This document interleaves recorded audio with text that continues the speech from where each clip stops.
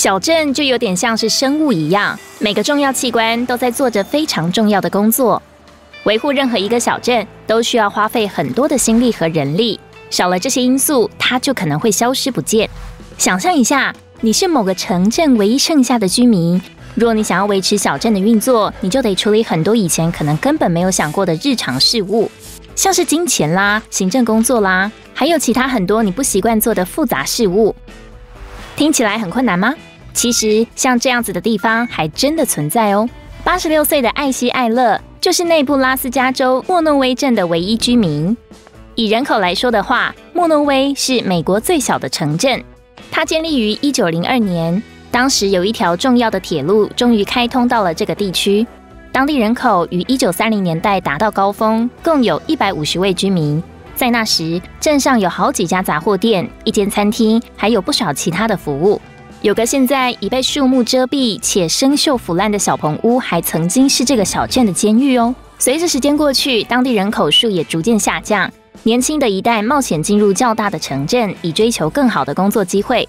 到了两千年代初期，只剩下两个人，就是艾希和她的丈夫鲁迪了。当时他们的孩子早就已经搬走。然后到了二零零四年，连鲁迪也去世了。但人口数只有一位，并不代表这个小镇就不存在。莫伦威和有着十一位居民的知名森特勒利亚镇不同，它仍保有自己的邮政编码，而且你可以在地图上找到它。这个地方本身蛮小的，总面积约为零点五平方公里。而身为美国最小的城镇，并不代表它就缺乏设施。镇上有一家小酒馆。一间图书馆和三栋房子，不过只有其中一栋有人使用。如果艾希需要些什么的时候，只要跳上他那台有着很酷的 Monowi One 车牌的越野车，就可以上路了。他保存着居住地的记录，以防万一有人要将人口翻倍，或甚至增加到三倍的数量。而身为当地的调酒师，他也提供镇上最好的冷饮。小酒馆每周会营业六天，他有为数众多的忠实顾客。其中有些人，艾希已经认识多年了。他也会做许多更为严肃的工作。他是镇长兼财务主管。每年的选举总是会在小镇唯一的当地企业，也就是艾希的酒吧里打广告。当举行投票时，艾希也没有别的选择，所以只能投给自己。他每年还会亲自募集高达五百美元的税金，这些钱会用作道路和镇上四盏路灯的维修之用。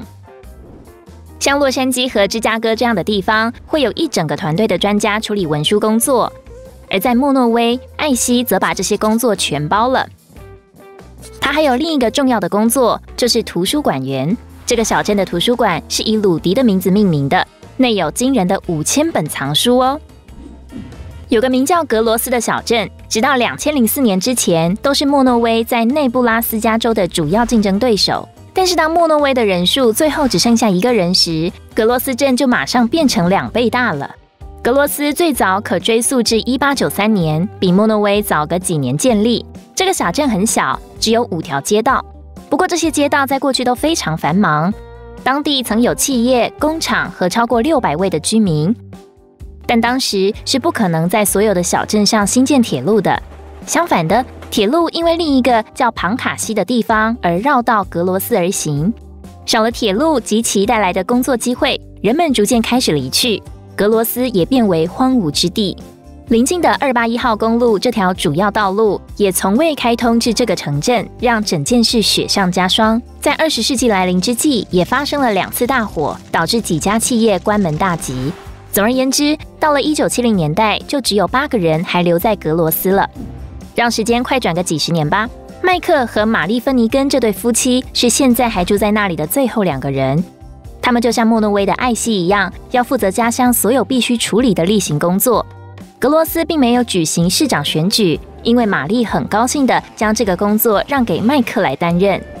这对夫妻经营着一间酒吧和一家很棒的餐厅，你可以到那里享用好吃的餐点，包括美味的印度塔可饼和葡萄干派。光是这家餐厅，在脸书上就有超过小镇人数一千倍的追踪人数了。内布拉斯加旅馆欢迎所有想要住宿及探索小镇的游客莅临。其实啊，当地有蛮多有趣的事物能让人一探究竟呢。首先有个惊人的旗杆，是为了纪念旅馆之前的主人而设立的；还有一座被称为格罗斯水塔的老式抽水机，甚至还有一家银行呢。好啦，它只是一栋空着的建筑物罢了。在当地的公园里，你仍然可以找到曾属于格罗斯银行（英文是 Growth State Bank） 的金库哦。在莫诺威和格罗斯成为美国最小的城镇之前，怀俄明州还有另一个名为布福德的竞争者。直到两千零八年前，那里也只有两位居民：唐萨蒙斯和他的儿子。唐其实在一九九二年时买下了整个小镇的这块土地，共占地四公顷，包括一个贸易站、一间邮局、一所学校。一座加油站和一间商店。当时那里还有其他人在为铁路工作，但他们不久之后就搬走了。这个小镇位于海拔两千四百公尺，所以并不是便利的位置。唐在那里担任邮局职员这份工作一段时间，但后来邮局便收了起来。他在二零一二年拍卖掉了他的小镇，现在那里已经没有人住了。但莫诺威和格罗斯永远不会寂寞，因为总是会有人经过的。内布拉斯加州以拥有许多小镇而闻名，这个州还有其他好几个不超过十五位居民的小镇，其中一个是伯顿镇，它是一个只有十个人居住的地方。那里的邮局早就关闭了，而且到处都是废弃的建筑物。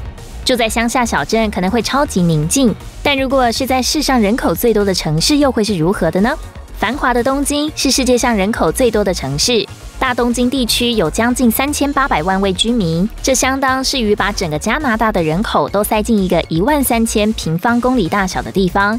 东京的交通因为非常繁忙，所以尖峰时段搭乘地铁的人口会增加百分之两百，而东京还是已经拥有了世界上最大的其中一座地铁系统了呢。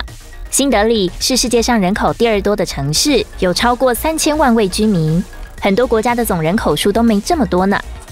在印度的其他地方，即使是最小的村庄，人口也比美国最小的城镇还多两百八十九倍啊！嘿，如果你今天学到了新东西，那么请给这个影片点一个赞，并与朋友分享哦。这里还有一些很酷的影片，我想你也会喜欢的。你只要点击左边或右边，持续锁定亮生活频道。